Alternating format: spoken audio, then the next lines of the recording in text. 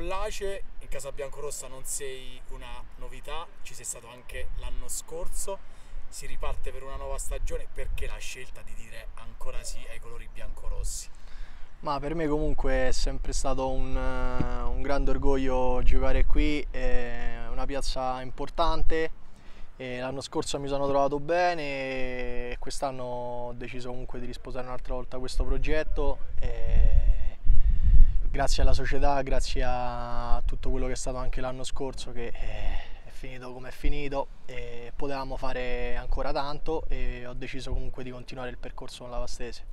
potevate fare ancora tanto, ma quando vi siete fermati a, a marzo la Vastesi era nel momento migliore di forma, ricordiamo le quattro vittorie in cinque giornate con l'arrivo di Mister Silva, c'è ancora lui dove, dopo la breve, breve parentesi a Govino, come l'ha ritrovato l'allenatore? Benissimo, no? noi siamo, siamo contenti del, del suo ritrovamento perché comunque l'anno scorso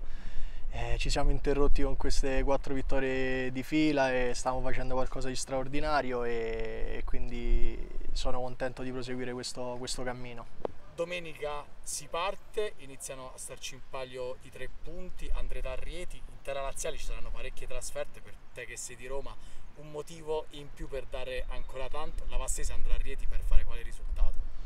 Ma il, il nostro obiettivo è sempre quello, è vincere e lo spirito, lo spirito c'è. I risultati poi avvengono sempre attraverso gli allenamenti, attraverso il gruppo e ci siamo, siamo un ottimo gruppo, un'ottima squadra ben costruita e mm, andremo lì per vincere comunque.